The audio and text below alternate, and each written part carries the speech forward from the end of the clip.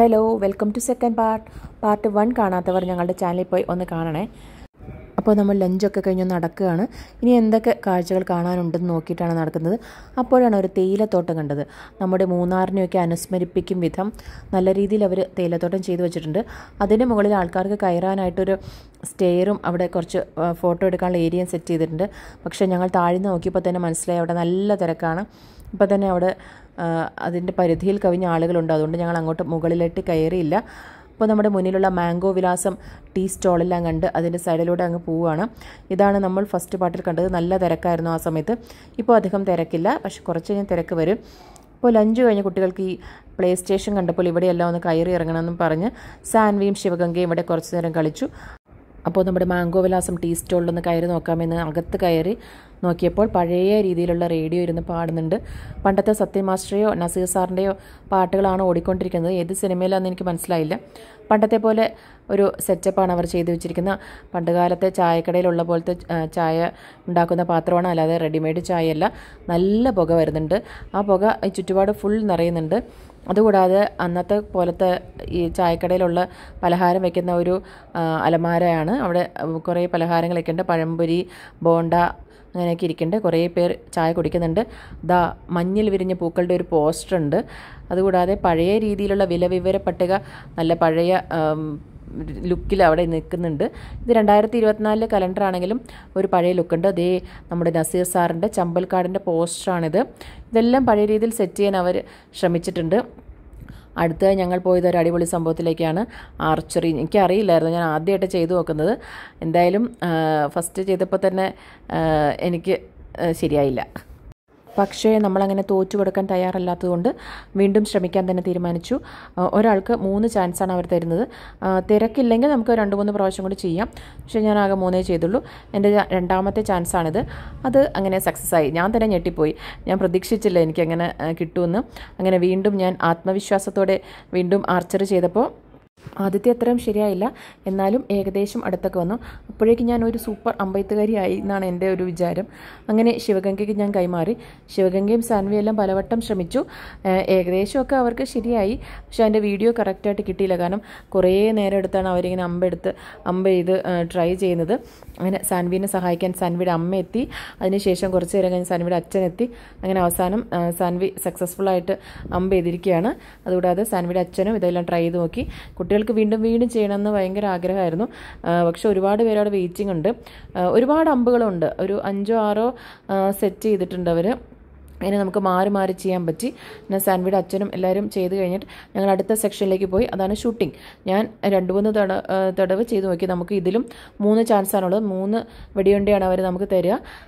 എനിക്ക് ഒറ്റ പ്രാവശ്യം പോലും ശരിയായിട്ടില്ല. രണ്ട് മൂന്ന് പ്രാവശ്യം എവിടേക്കാണ് വെടിയുണ്ട പോയതെന്ന് പോലും എനിക്ക് മനസ്സിലായില്ല. അങ്ങനെ ശിവഗംഗയും സാൻവിയും ചെയ്തു നോക്കി. സാൻവിയുടെ അച്ഛനും ചെയ്തു നോക്കി. സാൻവിയുടെ അച്ഛന്റെ ഒരെണ്ണം ശരിയായെന്ന് എനിക്ക് തോന്നുന്നു. ഞാനിപ്പോൾ ഓർക്കുന്നില്ല. ശിവഗംഗ ഇങ്ങനെ കുറേ പ്രാവശ്യം ചെയ്തു നോക്കി. അതെല്ലാം കഴിഞ്ഞ് ഞങ്ങളിങ്ങനെ അടുത്ത ഏരിയയിലോട്ട് നടക്കുകയാണ്. അപ്പോഴാണ് ഒരു കേവ് കോട്ടേജ് കണ്ടത്. അതായത് നമ്മുടെ ഗുഹ പോലെ തന്നെ ഇരിക്കും. ശരിക്കും ബാലരമയിലൊക്കെ ഉള്ള മായാവിയുടെ കഥകളിൽ കാണുന്ന ആ ഒരു ഗുഹ പോലെ തന്നെയാണ് എനിക്ക് തോന്നിയത്. ശരിക്കും ഇവിടെ താമസിക്കാൻ പേടിയാവണ പോലെ പേടിയാവില്ലേ എന്ന് വരെ ഞാൻ വിചാരിച്ചു. നമുക്ക് കുറച്ച് അധികം പേയ്മെന്റ് കൊടുക്കുകയാണെങ്കിൽ ഈ കേവ് കോട്ടേജിൽ ഒന്നോ രണ്ടോ ദിവസം അവിടെ താമസിക്കാം. നല്ല രീതിയിൽ അവർ ഇത് ചെയ്തിട്ടുണ്ട്. ഇതാണ് വിൻഡോസ് ഇത് സൈഡ് വ്യൂ ആണ്. അങ്ങനെ അതെല്ലാം കണ്ട് ഞങ്ങൾ അടുത്ത ഒരു കൊട്ടവഞ്ചിയിലേക്ക് പോയി. ഇത് ആദ്യം ഞങ്ങൾ രാവിലെ പോയി നോക്കിയതാണ്. അപ്പോൾ ഇവിടെ അവൈലബിൾ അല്ലായിരുന്നു. അതിന്റെ സർവീസ് അങ്ങനെ ഉച്ച കഴിഞ്ഞ് കുറേ നേരം ക്യൂ നിന്നിട്ടാണ് ഞങ്ങളുടെ ടേൺ കിട്ടിയത്. അതിന് മുന്നേ ഒരുപാട് പേരുണ്ട്. ഈ ഗ്രൂപ്പായിട്ട് വരുന്നവരൊക്കെ അത് അവർ ഫുൾ പോയി കഴിഞ്ഞിട്ടാണ് നമുക്ക് ചാൻസ് കിട്ടുള്ളൂ. അങ്ങനെ ഞങ്ങൾ ഞാനും ശിവഗംഗയും സാൻവിയുടെ ഫാമിലിയും കയറി എന്റെ ഹസ്ബൻഡ് കയറിയില്ല. അദ്ദേഹമാണ് വീഡിയോ എടുത്തുകൊണ്ടിരിക്കുന്നത് അങ്ങനെ ഞങ്ങൾ ഈ ഒരു കുളത്തിന്റെ എല്ലാ ഏരിയയും പോയി തുഴഞ്ഞു കഴിക്കുന്നത് നല്ല രസമായിരുന്നു. നല്ല രീതിയിൽ എൻജോയ് ചെയ്യാൻ പറ്റി. ഈ കൊട്ടവഞ്ചിയിൽ ഞാൻ ആദ്യമായിട്ടാണ് കയറുന്നത്. പണ്ട് നമ്മുടെ സിനിമയിലൊക്കെ മീശമാധവനിലൊക്കെ അത് കണ്ടിട്ടുണ്ട്. നല്ല പല വീണ്ടും കുറേ സിനിമകളിൽ അത് കണ്ടിട്ടുണ്ട്. അപ്പോഴും മുതലുള്ള ഒരു ആഗ്രഹമാണ് കുട്ടവഞ്ചിയിലൊന്ന് കയറണമെന്ന്. എന്തായാലും ആഗ്രഹം മാംഗോ മെഡോസിൽ വന്ന് സാധിച്ചു. നല്ല രീതിയിൽ എൻജോയ് ചെയ്ത് കുറേ അധികം നേരം ഈ വെള്ളത്തിൽ കുട്ടവഞ്ചിയിലെല്ലാം സ്പെൻഡ് ചെയ്യാൻ പറ്റി.